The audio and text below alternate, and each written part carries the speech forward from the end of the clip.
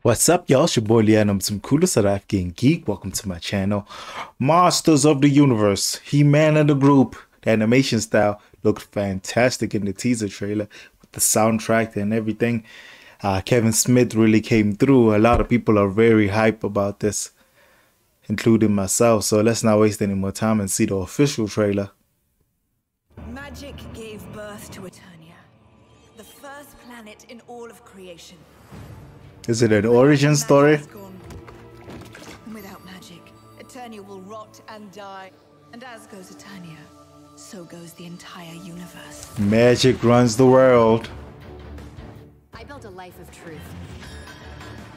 Away from magic. And now you want me to save magic?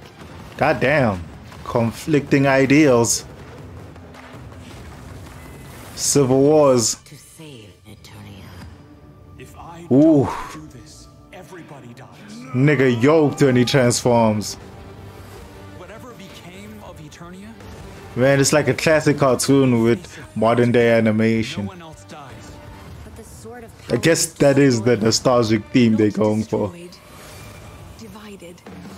Damn. You serve Grayskull or Snake Mountain.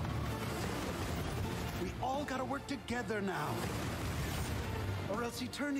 It's the first part, right? This is the official trailer for the first part. Swallows you whole. When does it drop? Well, that's a risk I'm willing to take. The power returns. The final battle begins.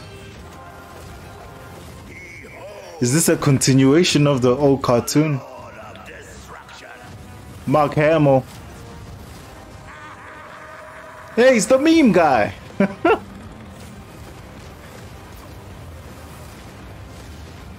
Yo. Still know the tune?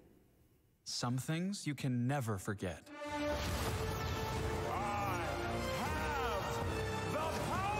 God damn. The theme right there.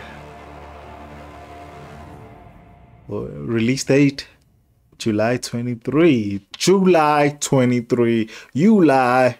Who I don't know. I wanted to make something rhyme there, but ran out of mental capacity. it looks great. Like it's very nostalgic. Like, dude, I used to watch He Man. Like it makes me feel like I used to watch it. I'm not even sure. I was probably very young if I did watch it. It's it's so nostalgic to me, so I have to have seen it, but I don't particularly know the story. I was more of a Dragon Ball Z till I die kid. you know what I'm saying? But I'm excited. I hope it has some origin, or like anybody new to this franchise can jump into it because I don't know if I'm new or old. Feels like I'm old, but mentally I'm new. Anyways, tell me what you guys think. Like if you like my reaction, deuces.